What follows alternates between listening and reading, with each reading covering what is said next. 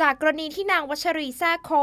อายุ 64 ปี ชาวบ้านในจังหวัดศรีสะเกดซึ่งใช้โทรศัพท์มือถือยี่ห้อ iMobile ขณะที่โทรศัพท์อยู่ในกระเป๋ากางเกง ได้เกิดระเบิดเสียงดังเปรี้ยๆคล้ายเสียงประทัด และมีควันพุ่งออกมา จนทำให้เธอได้รับบาดเจ็บ ผิวหนังชั้นกำพร้าไหม้และลอก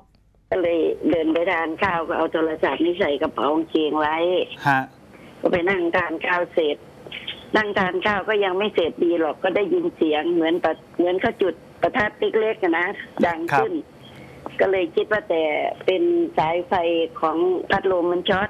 ครับ แต่ทีนี้มองไปดูพัดลมก็ไม่ใช่ ก็ลูกชายนั่งอยู่ข้างๆกับลูกสาวกับลูกสะใภ้สามสี่คนเขาก็เลยว่าโทรศัพท์แม่ระเบิดได้อยู่ในกระเป๋านี่ ครับ ไอเราก็เลยตกใจก็เลยทำอะไรไม่ถูกเลย อืมฮะ เด็กเด็กมันก็เลยรีบๆมาวิ่งมาล้วงเอาโทรศัพท์ออกก็กว่าจะออกได้เนาะเราคนอ้วน ครับ ก็ออกมาพอดีล้วงโทรศัพท์ออกก็ยืนขึ้น พอยืนขึ้นเสร็จ ทีนี้กางเกงเรามันก็ไหม้ไหม้มันก็เลยติดตัวเราทีนี้ครับ พอติดเนื้อหนังเราก็เลยได้เอามีดคัตเตอร์นั่นแหกกางเกงทิ้งครับ ทั้งสองตัวเลย อืม ก็เลยแหวกออกพอแหวกออกปุ๊บ ลูกเขาก็เลยรีบๆเอาไอ้บัวหิมะ ครับ เอามาลูบเลย ทีมข่าวคมชัดลึกทีวีติดต่อไปยังบริษัทสามารถ iMobile จำกัดมหาชน เพื่อสอบถามถึงเหตุการณ์ที่เกิดขึ้น ทางบริษัทชี้แจงว่า ได้ขออภัยต่อสิ่งที่เกิดขึ้นกับผู้เสียหาย พร้อมรับผิดชอบค่าใช้จ่ายในการรักษาพยาบาลทั้งหมด รวมถึงมีการเสนอมอบโทรศัพท์มือถือเครื่องใหม่แก่ผู้เสียหายด้วย แต่ผู้เสียหายไม่ขอรับ ผมเลยยื่นข้อเสนอให้ป้าไปว่าเดี๋ยวทางบริษัทเราจะรับผิดชอบเรื่องค่ารักษาพยาบาลทั้งหมด โดยโดยออกหนังสือรับรองไปให้เพื่อให้ป้าเขามั่นใจ ว่าว่าเราจะทำตามนั้นจริง ๆ แล้วส่วนบ่ายวันนั้นเราก็จะให้ให้น้องที่อยู่ที่สาขาชอบนะครับเข้าไปเยี่ยมป้าไปดูแลป้าว่าไปสอบถามป้าว่ามันเป็นยังไงบ้างอะไรทางบริษัทก็ต้องขอโทษป้าด้วยที่เหตุการณ์ของอย่างนี้มันเกิดขึ้น ซึ่งซึ่งซึ่งน้อยน้อยน้อยมากที่จะเกิด ส่วนสาเหตุของการลุกไหม้นั้น บริษัทชี้แจงว่าเกิดจากแบตเตอรี่ เราเราได้รับเครื่องมานะครับ แล้วก็ส่งไปที่แลบพิสูจน์นะครับแลบก็ดูว่ามันเกิดจากมีขั้วข้างในนะครับ เกิดจากการสปาร์กกันของขั้วข้างใน แล้วก็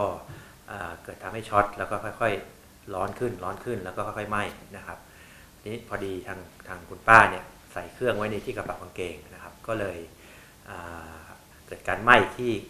ไม่รู้ตัวมันก็เลยลามขึ้นมาทำให้เกิดอาการบาดเจ็บ โดยพื้นฐานเนี่ยแบตเตอรี่เนี่ยเวลาใช้งานเนี่ยพออายุผ่านไป 6 เดือน 10 เดือนเนี่ยตัวแบตเตอรี่จะขยายตัวนะครับ แล้วก็ทำให้อ่าจริงๆแล้วมันจะเสื่อมสภาพลงนะครับ อันนี้อาจจะมีปัญหาคือตัวขั้วข้างในเนี่ยพอแบตเตอรี่มันขยายตัวมากๆเนี่ยแล้วมันจะไปกดขั้วทำให้ขั้วเนี่ยที่มีแผ่นป้องกันอะไรเนี่ยมันเกิดการเสียหาย แล้วก็อาจจะเกิดการช็อตขึ้นได้นะครับ หรืออาจจะเกิดจากการ ไปทำตกมาหรือกระแทกแรงๆก็มีมีส่วนนะครับ แต่อันนี้เราในเคสเนี่ยเราไม่สามารถพิสูจน์ได้เพราะเครื่องเขาไหม้ไปแล้ว แล้วก็ดูจากขั้วแบตเนี่ยมันก็เห็นว่ามีการตรงแผ่นป้องกันเนี่ยมันมีรูนะครับ ก็อาจจะ กิดจากการช็อตอย่างเดียวนะครับด้านผู้ช่วยศาสตราจารย์ ดร นันทกฤษยอดพิจิตรอาจารย์คณะวิศวกรรมศาสตร์ มหาวิทยาลัยพระจอมเกล้าพระนครเหนือบอกว่า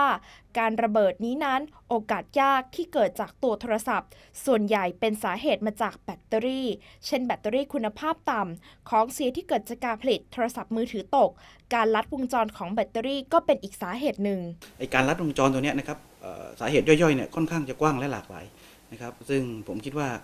น่าจะเป็นประเด็นที่เราควรให้ความสำคัญนะครับ โทรศัพท์มือถือนะครับ หรือแบตเตอรี่นะครับมีความชื้นนะครับ หรือว่าเปียกชื้นนะครับ หรือแม้ทั่งการที่เราให้แบตเตอรี่นะครับ หรือว่าพวกโทรศัพท์มือถือเนี่ยนะครับไปอยู่ในที่ที่มีอุณหภูมิสูงมากๆนะครับ เช่นพวกหน้ารถอะไรเงี้ยนะครับ หรือแม้ทั่งนะครับ การที่เราทำเอ่อโทรศัพท์มือถือตกนะครับ แล้วก็ อันนี้ก็เป็นอีกสาเหตุหนึ่งนะครับที่มีโอกาสที่จะทำให้ นะครับแบตเตอรี่เนี่ยนะครับเกิดการชำรุดนะครับแล้วก็ลัดวงจรได้สุด นอกจากนี้การชาร์จแบตเตอรี่ อุณหภูมิในการใช้งาน ก็มีส่วนทำให้แบตเตอรี่ลุกไหม้ได้สำหรับการป้องกันการลุกไหม้นั้น ควรเลือกใช้แบตเตอรี่ของแท้ที่มีคุณภาพ ไม่แก้ไขซ่อมแซมโทรศัพท์ด้วยตนเอง ระวังไม่ให้โทรศัพท์มือถือตก ไม่วางโทรศัพท์ในที่ร้อน เช่น บริเวณหน้ารถ ไม่วางในที่ชื้น เช่น ข้างอ่างล้างมือ หรือการนำโทรศัพท์ไปใช้ในห้องน้ำไม่ใช้โทรศัพท์ขณะชาร์จ ไม่พูดคุยโทรศัพท์เป็นเวลานาน ใช้ small talk ขณะโทรหรือรับสาย เก็บโทรศัพท์ให้ห่างจากตัวนอกจากคำแนะนำข้อควรระวังในการใช้โทรศัพท์มือถือแล้วนะคะ ผลทางอ้อมที่เกิดจากการใช้โทรศัพท์มือถือ เช่นไม่ควรใช้มือถือขณะขับรถค่ะ เพราะอาจก่อให้เกิดอุบัติเหตุได้ รวมถึงไม่ใช้โทรศัพท์มือถือตามที่เปลี่ยวตามข้างทาง เพราะอาจทำให้คุณตกเป็นเหยื่อของมิจฉาชีพได้เช่นกันค่ะ สิทธิกรประกำนนถ่ายภาพทันชนกศรีธเนศชัยคมชัดลึกทีวี รายงานค่ะ